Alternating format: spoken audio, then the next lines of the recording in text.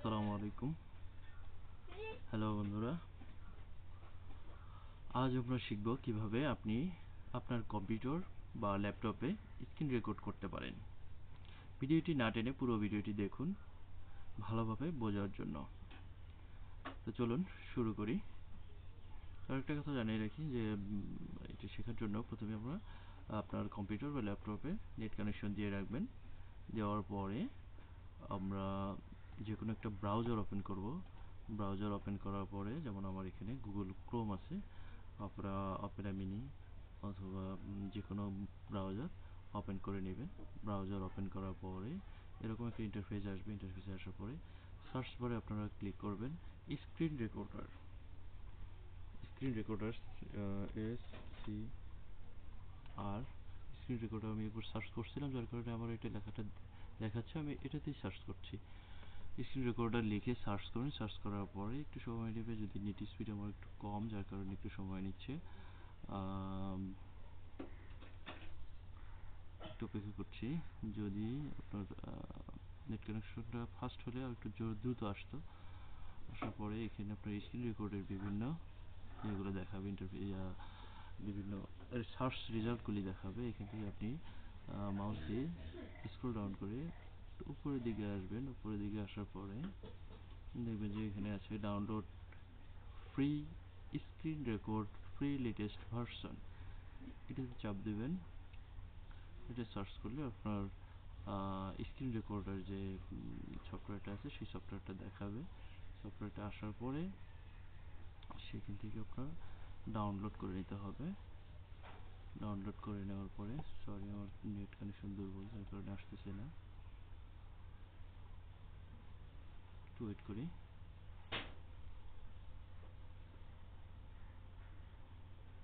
নিচে চলে এসছে। আসার পরে দেখেন এখানে লেখা আসছে download free screen recorder for Windows তো আমরা উইন্ডোজের জন্য এখান থেকে স্ক্রিন রেকর্ডারটা ডাউনলোড করে নেব। অথবা যদি কেউ মোবাইলে যদি স্ক্রিন রেকর্ড করতে চান, তাহলে মোবাইলে মোবাইলের যে ভার্সনটা আছে, সেটা ডাউনলোড করে নিতে পারেন মোবাইলের জন্য।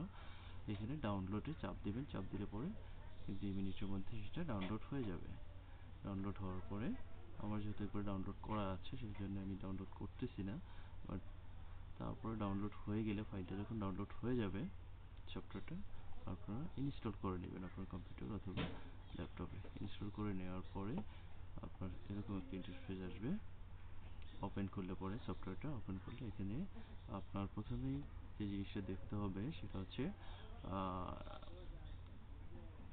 ওয়ান সিলেক্ট রিজিয়ন একটা একটা করে স্টেপগুলো আপনি সিলেক্ট করে প্রত্যেকটা সেটিং করে নিতে হবে। এখানে রিজন স্টেবল ফুল স্ক্রিন অর্থাৎ এখানে প্রত্যেকবার যতবার আপনি ওপেন করবেন ওপেন করার সময় আপনি কতটুকু জায়গা আপনি স্ক্রিন রেকর্ড করতে চাচ্ছেন, সেই বিষয়টা কিন্তু আপনাকে দেখায় দিতে হবে।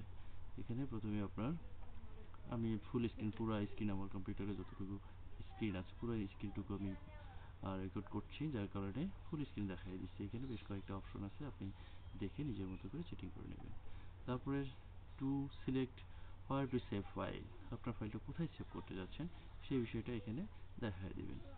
এখানে আপনার ইচ্ছা মতো এখানে open file file open folder folder open করে আপনি সিলেক্ট করে দেবেন, যেখানে আপনি রেকর্ডটা রাখতে চাচ্ছেন তারপরে এখানে আছে সেভ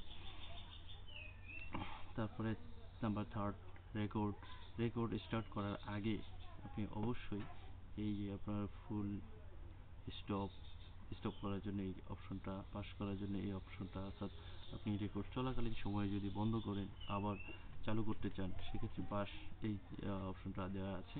আর সেটিংসের এখানে আছে আপনার ফিল্টার সেটিং ইফেক্ট এখানে আপনার বিভিন্ন ধরনের সেটিংগুলো দেওয়া আছে।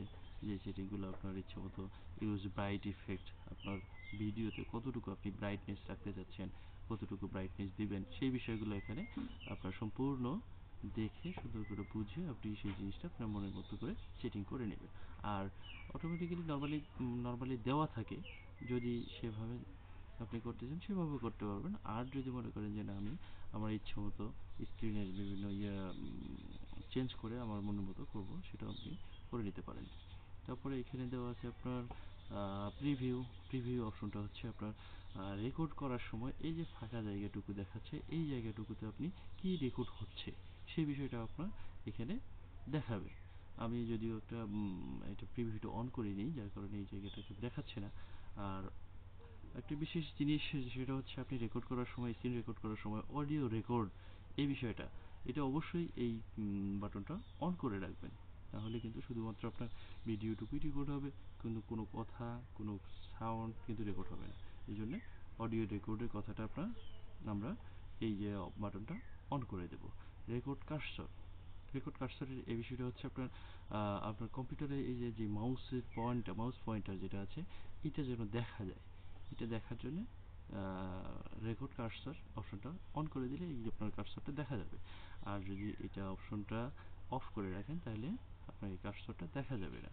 তারপরে মোর সেটিং ইনফরমেশন এখানে মোর সেটিং ইনফরমেশনে আপনার টাইম ডিউরেশন দেওয়া আছে। আপনি ইচ্ছে করলে কয় মিনিটের করতে চাচ্ছেন কয় সেকেন্ডের করতে চাচ্ছেন অটোমেটিক্যালি রেকর্ড হওয়ার পরে ওটা বন্ধ হয়ে যাবে।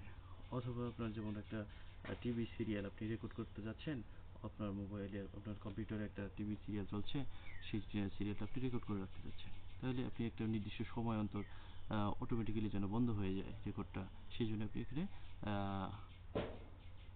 রেকর্ডিং ডিউরেশনটা দিয়ে রাখতে পারেন। আর উপরে আপনার আপনার effect overlay add overlay image এই জিনিসগুলো আপনি দেখে নিজের মতো করে সেটিং করে নিতে পারেন। Minimize record before capture minimize করে রাখতে পারেন, অথবা রিস্টোর করে রাখতে পারেন। আর ভিডিও প্রায়োরিটি এখানে নর্মাল আছে হাইস বিভিন্ন ধরনের ইয়ে আছে, আপনার যে আইডিয়াল আছে লয়েস্ট আছে লোয়ার আছে normal higher highest time critical এই জিনিসগুলো দেওয়া আছে, আপনার ইচ্ছা মতো আপনি সেটিং করে নেবেন। তারপর কালার বোর্ড বত্রিশ বাইট আছে, বিভিন্ন ধরনের ইয়ে আছে, এই জিনিসগুলো আপনারা নিজের মতো করে সেটিং করে নেবেন। তো বন্ধুরা, এই ছিল আজকের ভিডিও আমি আশা করি এই ভিডিওটা সম্পূর্ণ দেখে আপনি বুঝতে পারছেন যে কীভাবে আপনার কম্পিউটারে আমরা স্ক্রিন রেকর্ডটা করতে পারি। বিভিন্ন যেমন দেখা যাচ্ছে যে আপনার মোবাইলের মাধ্যমে আমরা বিভিন্ন স্ক্রিন রেকর্ড এর আগে দেখেছি বা করেছি। এখন কম্পিউটারে বা আপনার ডেস্কটপে অথবা ল্যাপটপে কীভাবে আপনি আপনার স্ক্রিন রেকর্ডটা করবেন সেই বিষয়টা আজকে আশা করি ক্লিয়ার হবে। তো, সো, ধন্যবাদ সবাইকে আমার ভিডিওটি, পুরো ভিডিওটি দেখার জন্য। প্লিজ আমাকে চ্যানেলটা সাবস্ক্রাইব করবেন, লাইক লাইক কমেন্ট করবেন এবং সবাইকে দেখার জন্য উদ্বুদ্ধ করবেন। তো ধন্যবাদ সবাইকে আমার পুরো ভিডিওতে দেখার জন্য। আসসালামু আলাইকুম রহমতুল্লাহ।